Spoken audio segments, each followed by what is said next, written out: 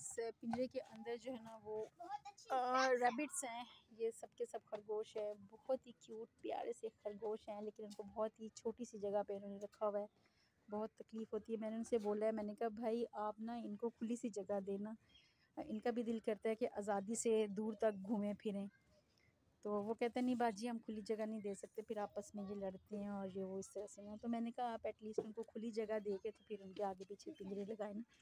छोटी छोटी आपने उनको जगह दी हुई ये देखिए कितने क्यूट रैबिट्स हैं। वाइट भी है और ये ब्राउन वाला तो बहुत ही क्यूट है। ये सारे कोई वाइट है और कोई ब्राउन है। तो यहाँ पे जो है ना वो वीकेंड पे आती हैं मेरी बेटियाँ और चूँकि अब स्कूल खुल गए हैं, जब समर वेकेशन होती हैं या कोई भी ऑफ़ होते हैं, छुट्टियाँ होती हैं तो फिर तो डेली आती हैं। यहाँ जी, यहाँ पे देखिए पी कॉक्स बोल रहे हैं। इतने प्यारे।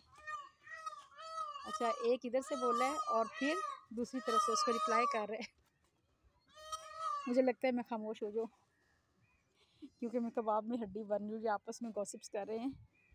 ये देखें जी ब्लू कलर का इतना खूबसूरत, अल्लाह पाक ने इतने प्यारे प्यारे रंग बनाए हैं। लेकिन देखिए जगह इनकी इतनी तंग है ना, मुझे इस चीज़ से इतनी तकलीफ़ हुई है। मैंने उनसे कहा है बट दोबारा ट्राई करूँगी।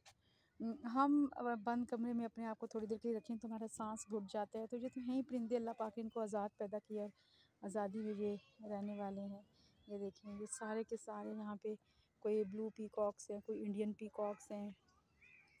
इस तरह से ये देखें कितना खूबसूरत है। इसके कलर कॉम्बिनेशन देखें, माशाल्लाह सुबहान अल्लाह ये सब अल्लाह पाक की जो है ना वो कुदरत है। ये देखें कितना खूबसूरत लग रहा है। बस ये देख रहे मुझे तो ऐसा लगता है जैसे ये हसरत से देख रहे हैं कि हम कब बाहर निकलेंगे और अपनी आज़ादी से घूमें फिरेंगे। हम इंसान भी कितने जो है ना वो खुद गर्ज होते हैं कि अपनी इंजॉयमेंट के लिए हम एक जीते जाते जानदार को किस तरह हमने कैद किया है। सब इतने मासूम लगते हैं। अब जो बोल रहे हैं उधर से बोल रहे हैं तो इधर से बोलेंगे। बारी बारी सब। चलें यहाँ पे हम अपनी वीडियो को करते हैं अख्ताम और मैं अपनी बेटियों से कहती हूँ कि घर चलें क्योंकि मैंने बनानी है कड़ी और कड़ी को अच्छा खासा टाइम लगता है तो इन रेसिपी आपके साथ शेयर करूँगी। काफ़ी टाइम के बाद मैं वापस आई हूँ अपने चैनल के ऊपर। तो उम्मीद है कि आप जो है ना वो मेरी वीडियोस को लाइक करेंगे शेयर करेंगे और चैनल जिन्होंने अभी तक सब्सक्राइब नहीं किया तो प्लीज़ मेरा चैनल भी सब्सक्राइब कर दीजिए। अगली वीडियो तक के लिए अल्लाह हाफिज़, दुआ में याद रखिएगा।